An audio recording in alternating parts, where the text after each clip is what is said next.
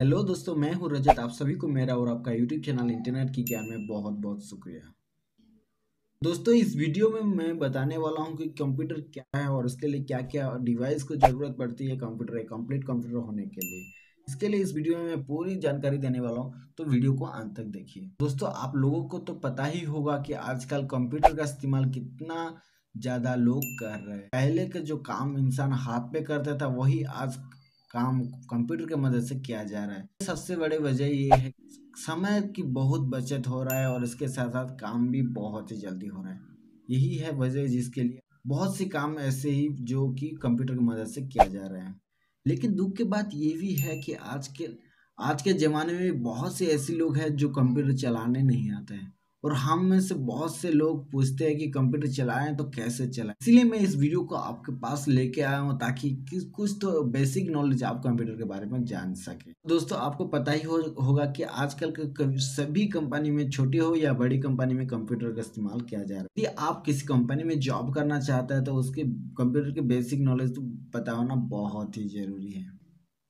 कभी कभी तो आपको इंटरव्यू में ऐसा भी पूछा भी नहीं जाता है कि आपको कंप्यूटर चलाना आता है कि नहीं। सीधे जाके कंप्यूटर लैब में बैठा देता है और आपको टाइपिंग स्पीड चेक करवा देता है।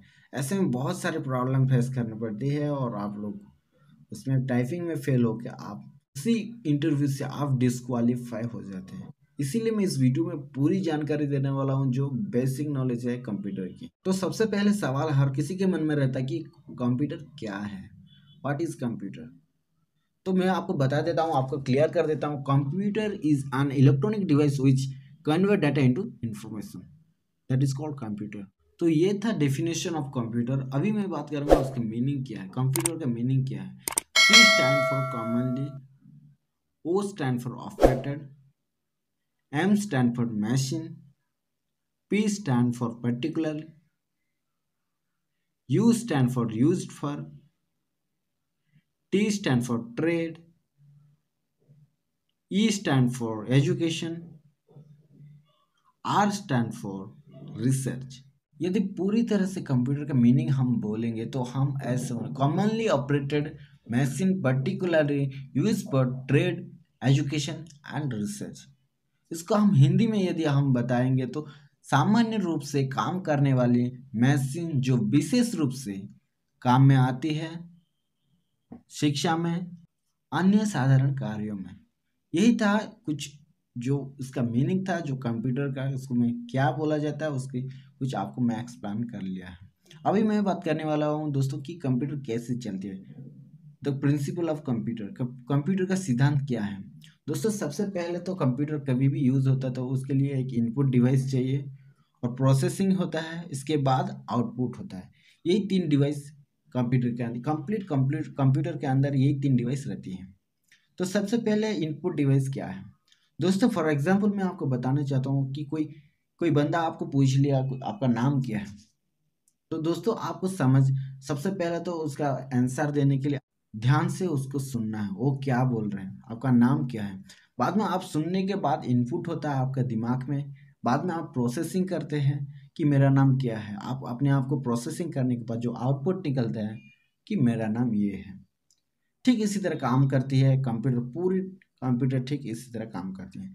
इनपुट डिवाइस होती है प्रोसेसिंग होती है, बाद में आउटपुट लेकिन मैं आपको इनपुट डिवाइस के बहुत सारे हैं कीबोर्ड्स है माउस है जोस्टिक है स्कैनर है बारकोड है ऑप्टिकल कैरेक्टर्स रिकॉग्नाइज है एप्टिकल मार्क रिकॉग्नाइजेशन माइक्रोफोन बहुत सारे इनपुट डिवाइस है, लेकिन मैं उतना सब आज नहीं बताने वाला हूँ। सिर्फ़ आपको कुछ बेसिक जानकारी आपको देने वाला हूँ। तो बात करते हैं इनपुट डिवाइस में सबसे पहले आता है तो कीबोर्ड्स दोस्तों कीबोर्ड्स ऐसा है जो की है। कंप्यूटर की की है। और कीबोर्ड्स आपके कंप्यूटर के बहुत ही ज़रूरी पार्ट्स है। बिना कीबोर्ड से आप कंप्यूटर ऑपरेट ही नहीं कर सकते। कीवर्ड्स की मदद से आप कंप्यूटर को ऑपरेटिंग कर सकते हैं। बहुत सारे ऐसे काम जो कीवर्ड से ऑपरेटिंग किया जाता है। यदि आपके पास अच्छे टाइपिंग स्पीड है तो आपको ज़रूर जॉब मिलना बहुत ही आसान हो सक, हो जाएगा। इसके लिए मैं नेक्स्ट वीडियो में आने वाले दिनों में मैं बताऊँगा टाइपिंग स्पीड कैसे बनाए, अपना टाइपिंग स्पीड कैसे बढ़ाए। इसके लिए मैं एक सेपरेट वीडियो बनाऊँगा, जो आप अपने टाइपिंग स्पीड को बढ़ा सकते हैं। कुछ टिप्स है, कुछ ट्रिक है जिसके मदद से आप अपना टाइपिंग स्पीड को बढ़ा सकते हैं। तो बात करते हैं कीबोर्ड बेसिकली कीबोर्ड टाइप का फ़ंक्शन रहता है। सबसे पहला फ़ंक्शन तो अल्फ़ाबेट जो ए टू जेड और दूसरा जो नंबर जो दूसरा है वो नंबर्स यानी कि ज़ीरो से लेकर नाइन तक जो नंबर्स है, वो कीवर्ड्स के अंदर रहता है। और तीसरा जो काम है, कुछ कीवर्ड्स है, जो विंडो का है की है ऑल्ट है कंट्रोल है नंबर लॉक है, ऐसे बहुत सारे स्पेशल कीवर्ड्स हैं। कुछ ऐसे स्पेशल बटन है जिससे हम यूज़ करते हैं। और चौथा में हम बात करेंगे तो फ़ंक्शन की। फ़ंक्शन यानी कि एफ़ वन टू लेके एफ़ ट्वेल्व तक जो भी फ़ंक्शन रहता है। बहुत सारे उसकी काम आती है जब हम ऑपरेटिंग करते हैं कंप्यूटर को। तो ये फ़ंक्शन की, ये स्पेशल कीज और ये नंबर्स ये type type of keys alphabetical ये सभी सभी तरह को आपको एक कीवर्ड्स के अंदर देखने को मिल दोस्तों कंप्यूटर ऑपरेटिंग करने के लिए माउस भी इस्तेमाल किया जाता है। वैसे हम अपने कंप्यूटर को बिना माउस से भी आप ऑपरेटिंग कर सकते हैं, लेकिन उसके लिए बहुत ही टाइम आपको ज़रूरत पड़ेगी यदि बिना माउस से आप ऑपरेटिंग करते हैं। तो यदि आप माउस उसमें ऐड करते हैं तो उसकी बहुत ही टाइम आपका बचत हो जाएगी। इसीलिए ज़्यादातर लोग माउस यूज़ करते हैं।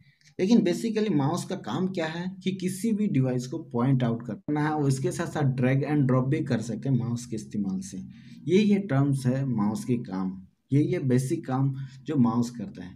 Basically three type of mouse देखने को मिलता है, जो ऑप्टिकल माउस देखने को मिलता है और इसके साथ साथ जो track and ball mouse track ball mouse आप देखे होंगे माउस के बैक साइड एक बॉल टाइप का रहता है जिसमें आप ट्रैक ट्रैक कर सकते हैं। और थर्ड में बत, बताएँगे कि वायरलेस माउस, अभी तो निकल चुका है वायरलेस माउस बिना केबल कनेक्शन से आप अभी माउस को ड्रैग एंड ड्रॉप कर सकते हैं और किसी भी डिवाइस को आप, किसी भी नंबर किसी भी लेटर को आप पॉइंट आउट कर सकते हैं। यही था कुछ माउस की डिवाइस जो बेसिक नॉलेज था। तो बात करते हैं अभी दोस्तों की तो इनपुट डिवाइस का कुछ बेसिक थिंग हमने हमने देख लिया, अभी हम चलेंगे प्रोसेसिंग डिवाइस का।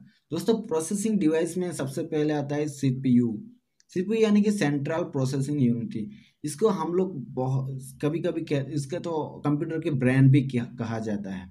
सबसे पहले सीपीयू के अंदर बहुत सारे चीज़ों से लेके एक सीपीयू कंप्लीट सीपीयू बोला जाता है, जैसे पावर सप्लाई होता है कार्ड्स रहता है मदरबोर्ड सीपीयू के अंदर रहता है हार्ड ड्राइव रहता है सीडी रहता है रोम रहता है ड्राइव रहता है, ये सभी को लेके एक सीपीयू को बोला जाता है।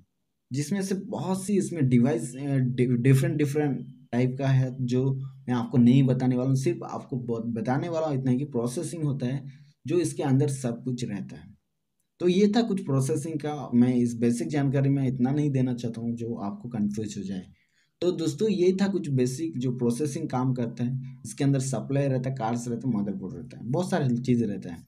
तो अभी बात करते हैं दोस्तों दोस्तों आउटपुट डिवाइस में मैं ले लिया है प्रिंटर को, सबसे पहले ले लिया क्योंकि बहुत से काम में आते हालाँकि कंप्यूटर में एक पार्ट नहीं है, लेकिन ये बहुत से इस्तेमाल होता है। आपको अपने कंप्यूटर के किसी भी डॉक्यूमेंट को प्रिंट आउट लेना है तो बहुत ही प्रिंटर के हेल्प से प्रिंटर की हेल्प से आप उसको निकल सकते हैं अपना प्रिंट यही है, बहुत ही अच्छे चीज़ है जो आप बेसिक नॉलेज भी करना। उसके लिए एक प्रिंटर एक कनेक्शन करना यू एस बी केबल के थ्रू से आप सी पी में कनेक्शन ले लेना और आप आप उसमें प्रिंट आउट कर लेना।